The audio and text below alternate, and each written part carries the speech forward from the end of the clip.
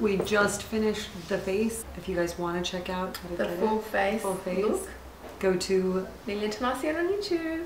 the link will be below. And now we're gonna start out with the rest of the makeup. I hope you guys enjoy. So first I prime the eyes using the Benefit Stay Don't Stray primer. And I just used a uh, fluffy synthetic brush here. Put a very thin layer all around, all across the lid, up to the brow bone. Then I set the color with a skin tone um, that's translucent or any shadow that matches your skin tone. Next is the transition color in the crease and I'm using the color blush from the Anastasia Beverly Hills Cosmetics using the Morphe E22 brush.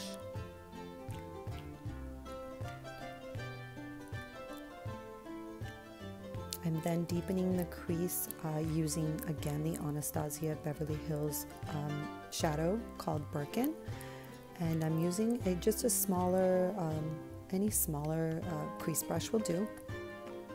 Want to really blend that color in there.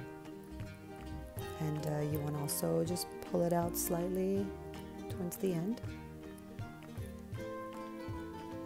I'm then highlighting the brows using a MUDD flat brush and applying the Hourglass Cosmetics Ambient Light right at the brow bone.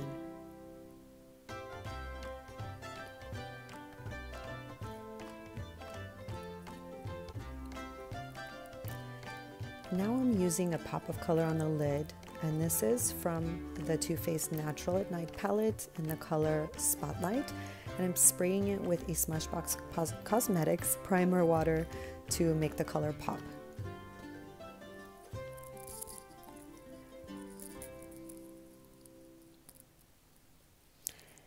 Next is the liner. Uh, here I'm using Frankie Rose Cosmetics black liner just to make a thin line across the top of the lash line and I'm, I'm going to go in with an angled uh, liner brush just to even out the line and slightly smudge it.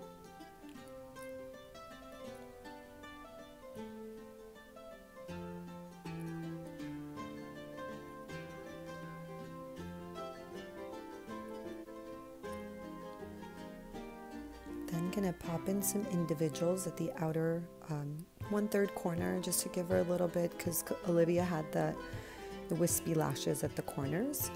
So these are the Ardell mediums and I'm using a uh, just a, a lash glue with that.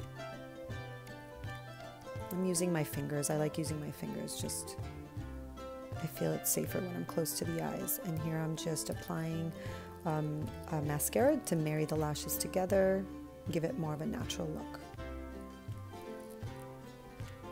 For the bottom lash line, I'm using, and actually the waterline, I'm applying the NYX Full Throttle Jumbo Pencil, um, and I'm just smudging it with a small tapered brush.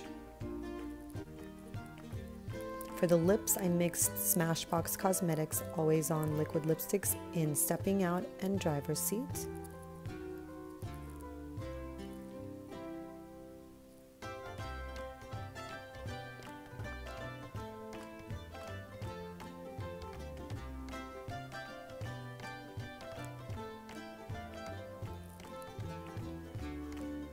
I'm using a pencil uh, by Bobbi Brown in, it's called Bobbi, just to line the lips. And for the finish, I sprayed a Smashbox Cosmetics primer water to set the look, and we're done. So that was our video. I hope you beauties really enjoyed it. We had so much fun creating it. Thank you so much to beautiful Lusine for doing it. Don't forget to tell us what you'd like to see next time.